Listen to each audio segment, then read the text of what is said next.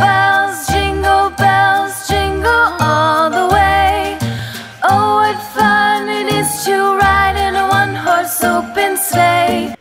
Hallo meine Lieben, heute habe ich ein Last-Minute-Geschenk, wenn ihr noch schnell in die Bücherei flitzt und ein Buch kauft für eure Freunde oder für wen auch immer, wen ihr halt beschenken wollt.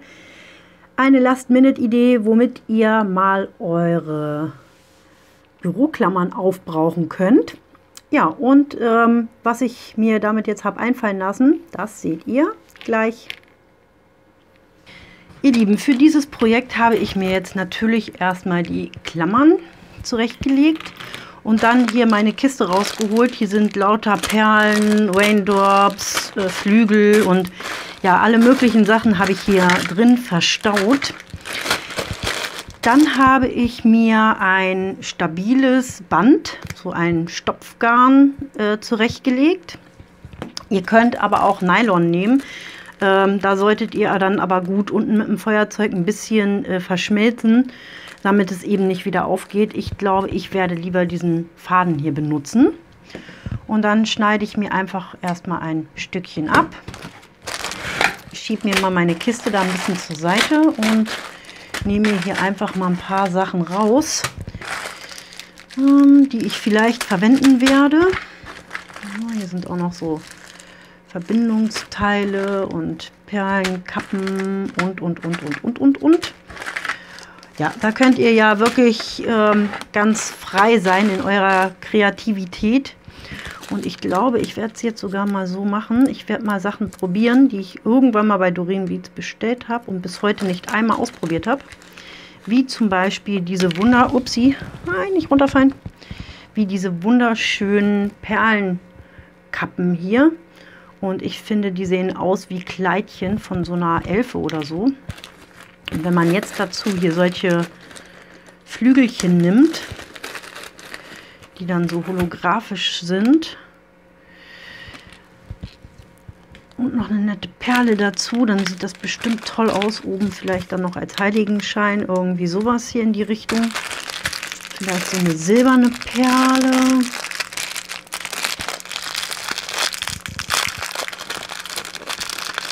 Weil wenn es dann zu viel einfach nur Silber ist, wird es vielleicht ein bisschen zu langweilig.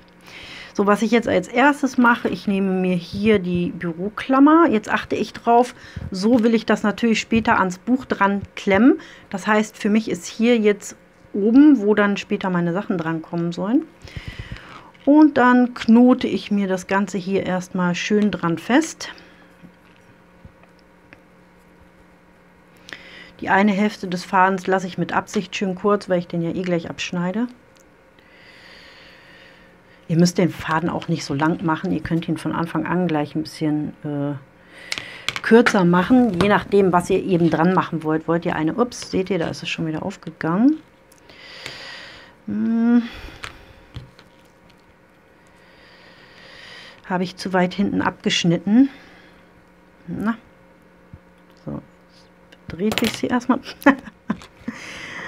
Pleiten, Pech und Pannen hier heute. So. Jetzt aber. Knoten 1 sitzt. Knoten 2 auch. Und ich glaube, ich mache vorsichtshalber jetzt noch einen dritten. Und ich glaube, ich gehe hier sogar noch einmal unten durch und mache nochmal zwei Knoten, um ganz sicher zu gehen, dass es mir ja nicht wieder abgeht. So, und jetzt schneide ich es wieder ab, aber diesmal passe ich auf, dass ich ein bisschen mehr stehen lasse, dass es mir nicht gleich wieder aufgeht. So, jetzt sitzt es auf jeden Fall bombenfest. Gut, und jetzt werde ich, also wir müssen jetzt überlegen, dass das hier später quasi unten ist. Das wird in unserem Buch hängen, also an unserer Buchseite. Habe ich hier nicht irgendwas?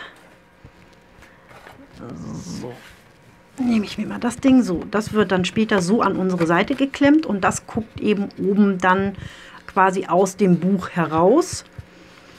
Und äh, ja, hier soll jetzt eben die Deko dran und dann ist das hier quasi unten und das wird dann oben sein. Das müssen wir jetzt bedenken. So, und zwar werde ich dann, wenn das hier oben sein soll, mit dem Heiligenschein anfangen.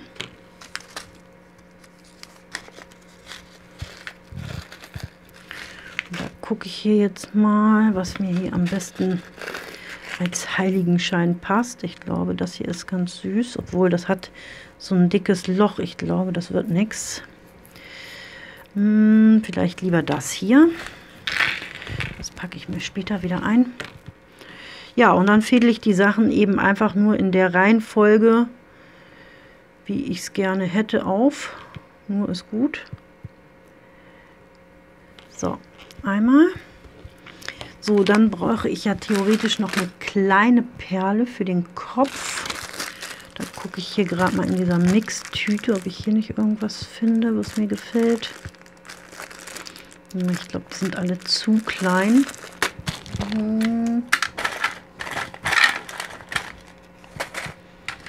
Ach, sowas hier vielleicht. Hat dann auch so ein bisschen Hautfarben. Und ist nicht ganz rund, also ist so ein bisschen sind halt so Perlen. So.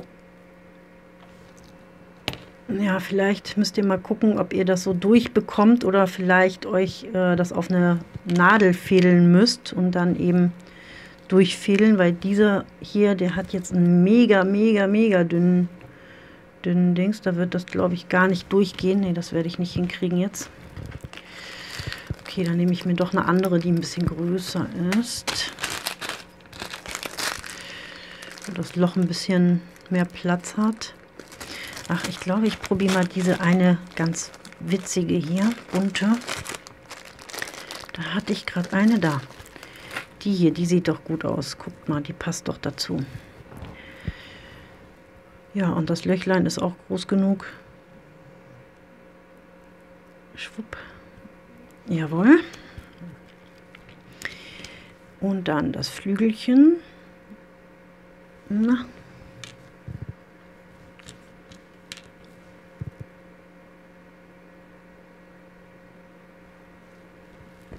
Jawohl. Die Perle. Oh, die hat auch so ein mega dünnes Loch. Mal gucken. Ja, also ich empfehle euch tatsächlich, äh, euch eine Nadel zu nehmen und äh, also eine ganz feine Nadel und das eventuell so aufzufädeln. So, ich habe mir das jetzt einmal hier auf so eine ganz feine Nadel gefädelt. Damit wird das jetzt auf jeden Fall besser funktionieren. Jawohl, und zack ist es drauf. Und dann, wenn wir das gleich so haben, dann mache ich das so auch gleich weiter. Dann gleich noch das Röckchen hinterher. So, und jetzt schaue ich mir das Ganze einmal an, ob mir das so auch gefällt. Und ich finde es super süß. Und jetzt mache ich mir hier einen Knoten. Und da muss ich jetzt gucken, der Knoten muss natürlich dick genug sein, dass da nachher auch wirklich nichts mehr weggeht. Was ihr auch machen könnt, was ich wahrscheinlich auch jetzt gleich machen werde, ist, ihr könnt so einen Stopper benutzen damit das nicht mehr runterrutscht. Da werde ich jetzt mal schauen, welchen ich da am besten nehme. Nehme ich hier so einen ganz feinen, ich glaube, ich nehme einen etwas dickeren. Also so eine Quetschperle nennen sich die Dinger.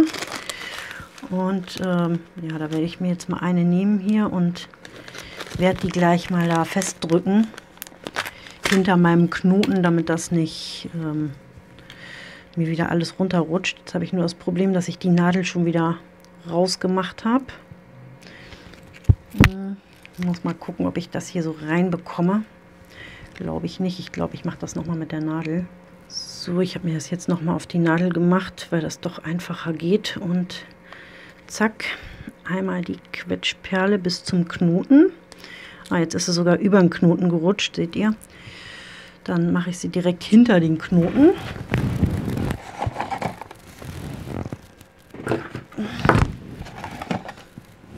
Und hier habe ich eine Zange, mit der man eben solche Quetschperlen zusammendrücken kann. Und da gucke ich jetzt mal, welche Einstellung ich nehme. Ich nehme erstmal die große. Drücke einmal und dann würde ich sagen, ja, nach oben hat sie noch Bewegung, nach unten durch den Knoten aber nicht mehr. Jetzt noch mal ein ganz bisschen fester drücken. So, weil wenn man die nämlich zu fest drückt, dann kann es einem auch passieren, dass sie kaputt gehen. So, und so sieht das Ganze jetzt aus, wenn denn die Quetschperle unten reinrutscht. So, genau. Ja, so sieht das Ganze jetzt aus. Und natürlich könnt ihr den Faden hier unten jetzt noch abschneiden. Ihr könnt ihn aber auch dran lassen. Das ist Geschmackssache, wie ihr das gerne möchtet. Ich werde ihn abschneiden. Nicht zu eng, nicht, dass der Knoten wieder aufgeht. Und da verschwindet ja eh noch ein bisschen was unter dem Röckchen. Ja, und dann könnt ihr das eben so an euer ähm, Büchlein festklemmen und habe dann am anderen Ende dann eben hier so einen Engel oder ein paar Perlen einfach nur oder was auch immer ihr da eben ähm, dran baut, habt ihr dann eben als Lesezeichen. Ja, ich finde das eine super Idee, um auch diese Klammern mal äh, zu verbrauchen. Ich hatte bisher nicht so wirklich Ideen, äh, was ich mit diesen Klammern mache. Aber ich finde, so als Lesezeichen machen die sich doch ganz gut. Ja, meine Lieben, diesen hier habe ich ja nun gerade mit euch zusammen gemacht. Habt ihr jetzt gesehen, wie ich den gemacht habe. Und äh, ja, das ist ja immer das gleiche Prinzip. Von daher habe ich mir gedacht, es reicht, wenn ich euch einen zeige. Mit dem goldenen, da hatte ich jetzt so passend gelb und goldene Sachen. Und dann habe ich gedacht, ach, Gold, da passt eigentlich auch immer ganz gut ein Engel. Also habe ich da auch wieder einen Engel draus gemacht. Und ähm, ja, hier habe ich mir jetzt aber gesagt, nee, komm, da muss ja auch mal was anderes sein und habe jetzt einfach nur so bunt und habe mir da solche Blumenperlen genommen. Die habe ich, glaube ich, mal von Teddy irgendwie in so einer Packung gehabt. Und dann habe ich so ähm, kleine Rainbow Drops, heißen die, glaube ich, ähm, mir genommen. Und da war das Problem, die waren gar nicht durchgebohrt. Ich dachte, die, also die waren eher wie Halbperlen. Ich dachte immer, dass da Löcher drin sind. Bei manchen waren auch so Löcher angedeutet, aber die waren halt nie komplett durch. Und dann habe ich mir einfach meinen Bohrer genommen und habe mir da einmal durchgebohrt, damit ich mir die anhängen kann, weil die passten von der Farbe so geil. Ja, dann habe ich mir hier einen Stopper genommen und hier unten auch und habe mir hier noch so ein Herz dazwischen gebaut. Und das Herz hat jetzt hier halt ein bisschen Spiel nach unten, also da ist ein bisschen Luft zwischen den Sachen. Wenn es dann nachher hängt, dann hängt es eben so. Und hier habe ich es jetzt auch oben mal relativ kurz gelassen, also äh, nicht so viel Band wie jetzt zum Beispiel hier. Und äh, das könnt ihr natürlich variieren, wie ihr das wollt. Und ähm, ja, ich wollte euch wenigstens von jeder Farbe einmal hier was zeigen. Und ja, weil ich hier jetzt die Sachen halt passend hatte, wurden es jetzt halt Engel oder Elfen, kann man ja jetzt ähm, sagen, wie man möchte. Und hier, ähm, wie gesagt, einmal was ein bisschen anderes und ich dachte, hier passt auch bunt ganz gut. Und wie gesagt, mit den Stopperperlen, ihr könnt das natürlich auch noch länger ziehen. Das ist ja äh, komplett eurer Fantasie und euren Möglichkeiten überlassen, je nachdem, was ihr alles so zu Hause habt.